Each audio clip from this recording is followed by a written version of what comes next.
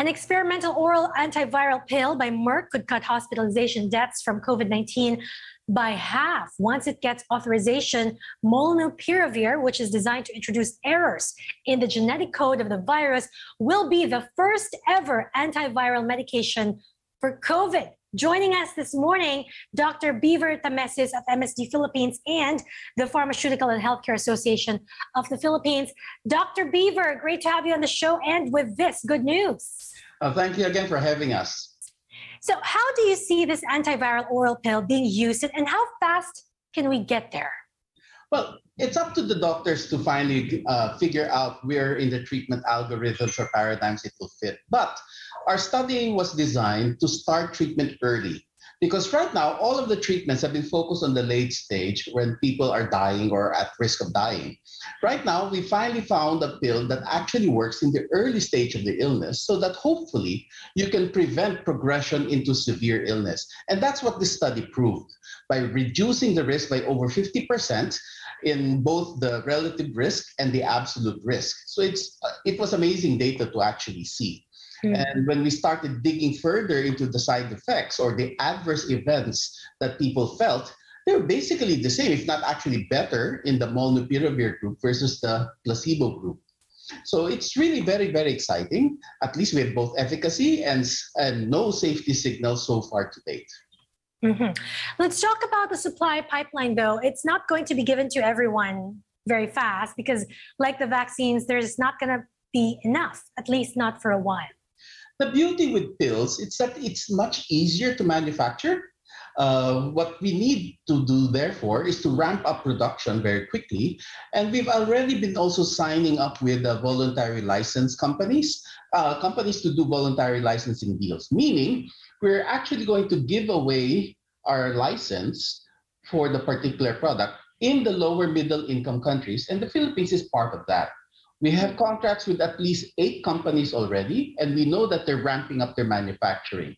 We just need to assure that the quality is there, and sooner or later they will be able to flood the markets with the drug. Okay, the eight companies are all for the Philippines. Uh, no, there's going to supply the globe. There are over 105 countries listed in the LMIC group, which is the lower middle income countries, and the Philippines is part of that. So hopefully within the next few weeks, they should be knocking on the doors of our FDA to try to bring in the, their version of the uh, molnupiravir into the country as soon as possible. Now, wow. Okay. The, the, here's the thing, though, Dr. Beaver. The team behind this drug stopped the test early. It wasn't completed, right? Should we be worried? No. Uh, this is a planned analysis when you do a study, you actually plan the different types of analysis so that you can figure out the, the correct statistics to be used at that particular point in time. We, the Philippines was part of this, and we've actually contributed our full share of 25 cases to this particular study. Globally, we've actually completed full recruitment, but the analysis was done early when you don't have yet everybody through. We'll finally have the full paper in the next few weeks, and that will be what the FDA will base its final decisions on. Uh, but we're confident that the, this, the results of the first uh, interim analysis will be carried forth into the full paper analysis. Okay. Uh, you mentioned this earlier, but just wanted to clarify what does the side effect profile look like?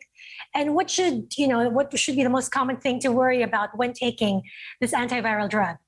Well, in the study, we don't call it side effects. We call it adverse events because we okay. don't know what the patient is taking, right? When we look at the reports of the adverse events, they were basically like 35% of patients reported something in the molnupiravir group versus 40% in the placebo group. So basically the same. Something that people felt that is due to the drug, oh, uh, yung pala sa placebo pala yun. It mm-hmm. might have been actually under through the underlying disease. More important, siguro, is the discontinuation. When people felt that the side effect profile was so bad, they had to stop, right? And in the molnupiravir group, it was like 1.3% decided to stop versus 3.4% in the placebo group. So really, the placebo group and the molnupiravir group, ah, molnupiravir group had a very, very good safety profile. Mm-hmm, mm-hmm. Okay. The trial was also done on unvaccinated individuals. Unvaccinated, yes. Is this something that vaccinated individuals can qualify for um, because we do know that the number of breakthroughs continues to grow. Yes. We do not see any reason not to give it to vaccinated people in the future. The drug was, the study drug was designed, the study protocol was designed to find out whether or not there was a benefit.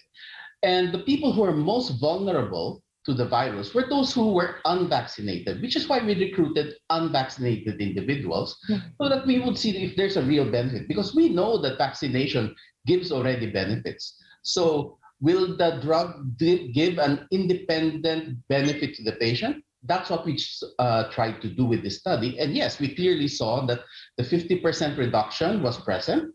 And the 50% reduction is in both hospitalization and when it came to deaths, so far at least in this uh, relatively uh, uh, good study, we had like eight deaths in the placebo group versus zero deaths in the actively treated group. So Huh. that's actually that's actually pretty stunning. But of course, we as uh, more usage comes in, as you get it out into the countries and to the different communities, the numbers will change slightly, but not directionally very uh, dramatically change. Mhm. But Dr. Beaver, the fact that the study was done on unvaccinated, will the FDA limit um, the application to unvaccinated as well? I mean, this is going to incentivize those who don't want to get vaccinated. Well, it will be it will be uh, up to the FDA to make their final decision or final call. But if you look at the mechanism of action or how this drug works, I don't see a reason why it cannot be given to both vaccinated and unvaccinated individuals. The replication of the virus happens whether you're vaccinated or not, right? We see that all the time now, even in the breakthrough uh, uh, infections in the vaccinated individuals. Their viral load is exactly the same as that of the unvaccinated at the start. So it's really critical to get uh, reduce that viral load at the earliest possible time, if not actually remove the virus, eliminate it by causing all these fatal errors uh, in the replication of the virus. So, which is why we're confident that it can be used, uh, but we'll have to wait for the final indication coming from our FDAs. Mhm. Because I just wanted to note um, for those who are watching, according to the CDC, if you're um, unvaccinated, you still have five times the likelihood of getting infected, 11 times the likelihood of being hospitalized, and 11 times the likelihood of dying compared to someone who's been vaccinated. So, this is going to be another layer of protection. Absolutely, yes. So the critical bit now is because the study was designed to, and we know how the drug works, right? You have to get it when the virus is actively replicating inside the patient. Hmm. So that's when you need to give the treatment. Hmm. So And, that's the group of patients we recruited. and, doctor, this is for short term administration. I mean, you, you're not going to take it for six months, you take it No, for no, no, five not- days. Not or all. even shorter. If It's if, if used, less than a yes. less than a week on treatment. Uh, that was the treatment uh, schedule that we had in our studies. Mhm. And that was actually supported by all of the pre work that was done, uh, early phase one and phase two studies, when we could actually detect the virus or when it would disappear from the secretions of the patient. Could we compare this to the likes of Regeneron or Avigan? Would would that be apples and oranges? well, in the sense, it's comparable in the sense that you're getting them early, right? You want to get the patients early. Now, in terms of how you administer, obviously the Regeneron requires intravenous. Yes, you go to the hospital. You need a doctor to do it. The hospital. This one, uh, you could actually get it as you, you could be issued the pills and then take it at home. No need to further step out of your home. So it'll work out. We'll have to work this out through with the local hospitals, what their kind of home services are. So potentially this could be a game changer in that you can keep patients at home and keep them for much shorter because the virus now disappears at the end of five days. Mhm. Uh, what's the timeline now, Doc? Looking ahead, you know, um, they've applied for emergency use authorization in the U.S. Uh, what's next?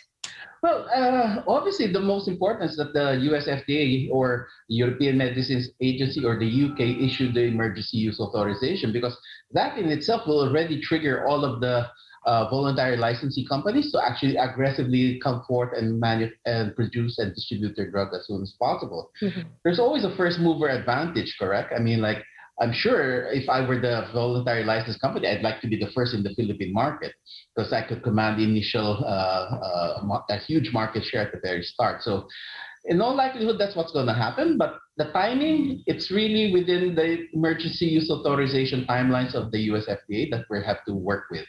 Mhm. So are we looking at six months? Of Eight months? no likelihood, much less in all likelihood. I think the US FDA has been uh, monitoring this very closely. So the amount of uh, information that they need to sift through to finally come to a conclusion is not going to be that much anymore that they haven't already seen. Uh, they've seen a lot of this data as the study, as the drug development program progressed. Mhm. Um, so you think that in six months' time, the drug could actually reach the Philippines? Probably shorter. Wow, shorter than six months. Wow. And what about pricing? I read somewhere, I don't know if this figure is accurate, $700. Oh, that's news to me. uh, basically, which is why we've gone through the voluntary licensing route. By giving the license away to these eight companies, we will allow them to compete with each other so that they can drive the price down. Okay, so do we have an estimate, more or less, how much one drug would cost? At this point in time, I cannot really speak for how the, the voluntary license companies will manufacture or price their drug. So I, I really don't want to talk about that because I really have no no Mhm. information at this time.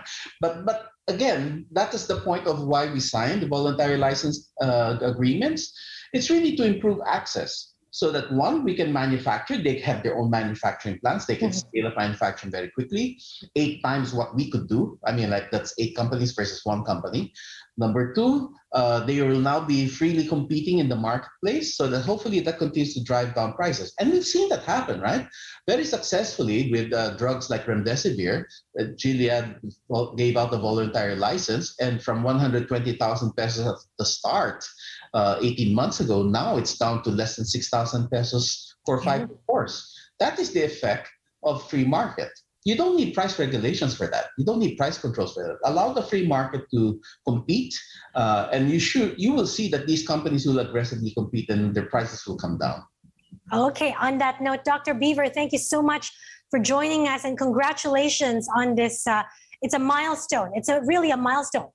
Thank you very much. It's we're all very excited, and it will help us really get out of this pandemic for everybody's good.